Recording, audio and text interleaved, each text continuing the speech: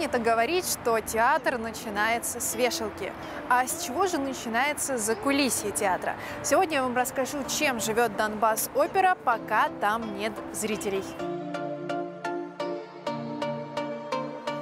Донбасс опера продолжает совершенствоваться и не прекращает работать над созданием новых спектаклей. И сейчас на сцене нашего театра большими темпами идет подготовка к новой премьере оперы Джузеппе Верди «Любовные похождения сэра Джона Фальстефа». Юрий, мы вас отвлекли от репетиции чего? Расскажите, что происходит Ничего сейчас? страшного. Идет э, рабочий процесс, репетиция Фальстафа, пока идет сценическая, с отдельными артистами, солистами. Сейчас подойдут артисты хора. Ну, работа продолжается, ничего не останавливается. Многие зрители, и я в том числе, думала, что вот дирижер э, всю репетицию всегда только в оркестровой яме проводит. Это не так. Конечно, не так. Работа начинается с изучения музыкального материала в классе. Есть такой процесс. Концертмейстер занимается с солистом, учит партию. Э, Дирижер присутствует на уроках, контролирует этот процесс.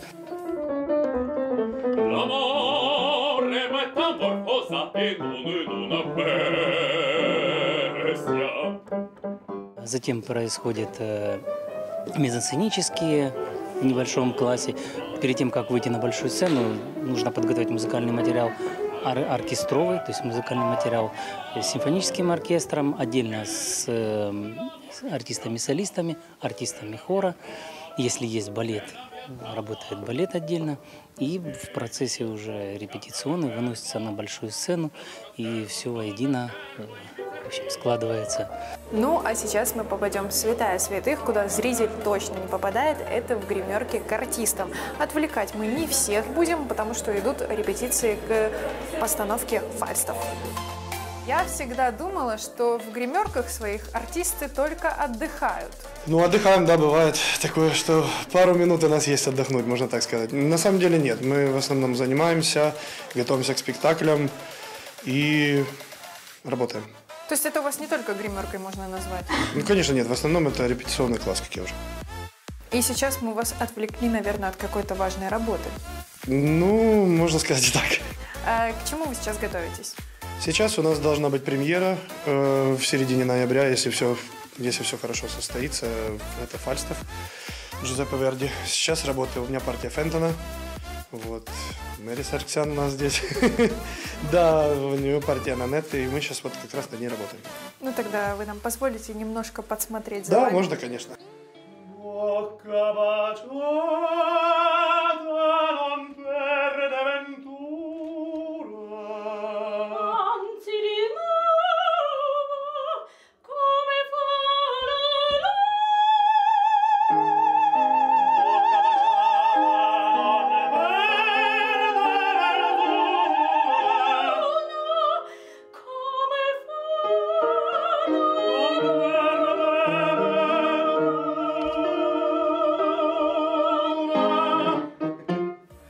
Мы с вами попали в художественно-декорационный цех. Здесь делаются, соответственно, декорации, которые потом стоят на сцене.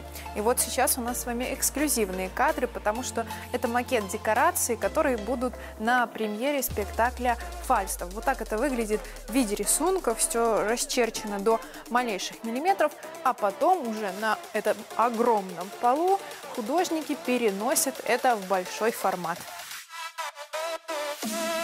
А вот тут мы уже видим, как из маленького рисунка переносится все на огромный холст, из которого потом вырастают настоящие большие декорации. Для этого используются не обычные кисти, которыми рисуют художники, а огромные, чуть ли не в мой рост. И точно такие же простые карандаши.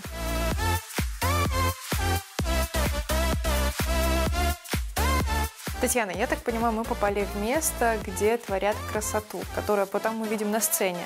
Точно. Мы сейчас находимся в пошивочном цехе, где руками наших театральных мастеров расшиваются, украшаются театральные костюмы к спектаклю «Любовные похождения сэра Джона Фальстафа». Вот сейчас все зрители, наверное, должны мне позавидовать, потому что со сцены никогда не видно, насколько детализированно сделаны костюмы. И очень интересно, что все это ручная работа. Так уже не работают практически ни в одном театре, но в Донбасс-опере это все еще есть. Если углубиться в историю, зрителям будет интересно, что мы свой первый театральный сезон в далеком 32 году, 1932 году открыли премьерой оперы Александра Боротина «Князь Игорь».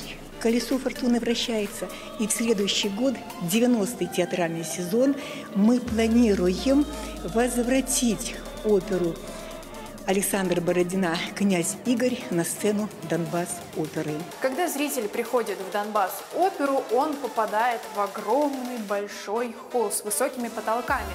Но в самой Донбасс-опере очень много тайных различных ходов, которые достаточно маленькие. И сейчас один из них мы вам покажем, ведет в очень интересное место, где хранятся различные партитуры и ноты. Главное, чтобы только мой оператор головой тут не ударился. Пойдемте.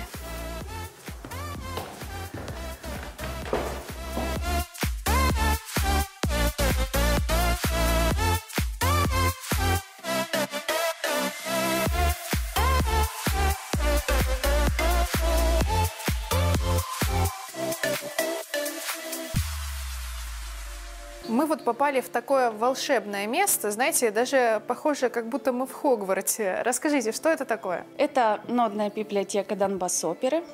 Здесь у нас хранятся все партитуры к спектаклям, клавирам.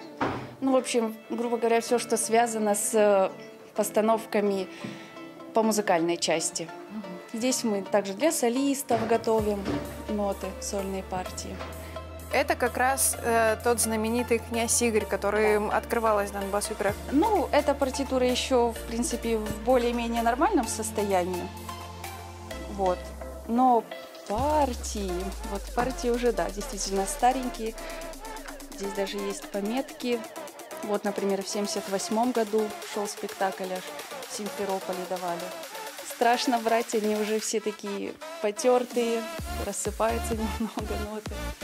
Тут даже вот действительно сохранились э, пометки Да, всех тех, да. кто с ней работал. Да, В прошлом году впервые э, был введен праздник Всемирный день оперы. Вот расскажите, насколько вообще для театра значимо введение такого праздника и какие у него вообще преследуются цели и задачи у этого праздника?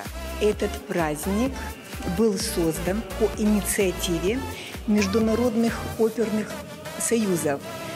Опера Америка, опера Европа, опера Латинская Америка.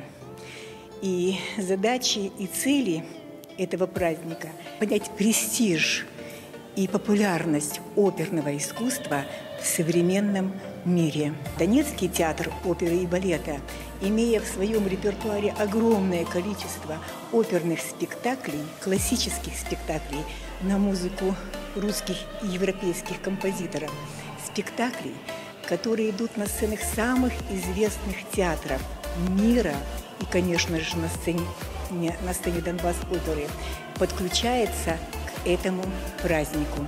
Театр – это не только артисты, не только оркестр и хор.